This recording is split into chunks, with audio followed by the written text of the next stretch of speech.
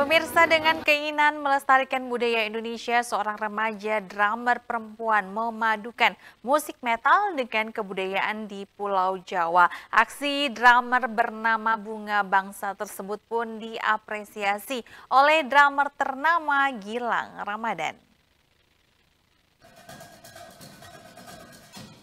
Memperkenalkan budaya Indonesia terhadap generasi muda bisa dengan berbagai cara. Bahkan seorang remaja perempuan yang merupakan drummer atau pemain drum mengkolaborasikan musik metal dengan musik, nyanyian maupun tarian dari budaya Jawa Tengah, Jawa Barat hingga Jawa Timur agar generasi muda lebih mengenal budaya Indonesia. Drummer yang memiliki nama panggung Bunga Bangsa tersebut menyatakan jika ia ingin upaya yang dilakukannya tersebut dilakukan pula oleh para musisi lainnya, sehingga budaya Indonesia dapat terangkat dan tidak hilang di telan zaman.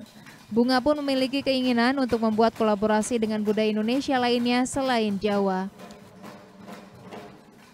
Aku pengen ngangkat uh, budaya tradisional lagi, gimana caranya biar uh, generasi muda ini bisa lebih tertarik lagi sama tradisional. Uh, dari itu aku coba buat musik yang bisa dibilang disukai sama anak muda sekarang progresif metal nah dengan kolaborasi ini sih aku harapannya ke depan uh, banyak yang apa ya melakukan hal yang sama dan nantinya bisa menyebar juga sih sebenarnya untuk ekonomi kreatifnya yang ada di pengrajinnya terus lingkungannya pasti uh, bakal bertambah jadi sebenarnya ini juga pendapatan juga dan selain itu kalau uh, arti dari lagu-lagunya sendiri sebenarnya Panggilan Senja ini menceritakan kesedihan bumi.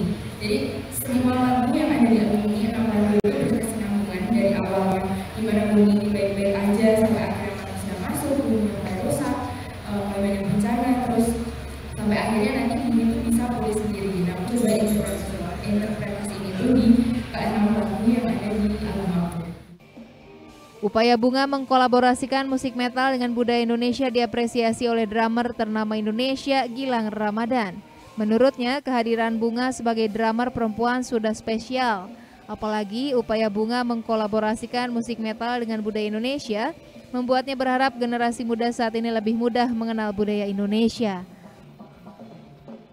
Ya, kehubungan bunga ini memang kita harus melihatnya spesial untuk menyemangati anak-anak yang bersikupi beragam dan mungkin sekarang kalau dari sudut saya ini sangat penting karena saya melihatnya pun menjadi aset Indonesia.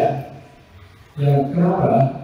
karena dia sekarang ini juga bereksperimen untuk berkesinambungan dengan musik tradisional maka dari sudut musik tradisional ini sekarang ini memang masih banyak anak-anak muda yang tidak mendengarkan dan tidak mengerti. Masuklah ke ke kebudayaan. Mungkin bunga ini ikut membantu ini ada sedikit eh, jawabannya agak sedikit berat. Kita jangan tapi mau bunga ini membantu dalam konteks undang-undang nomor 5 tahun 2017 yaitu mempertahankan kebudayaan Kolaborasi musik metal dan budaya Indonesia yang dilakukan Bunga melalui bimbingan dari drummer Rifki 13.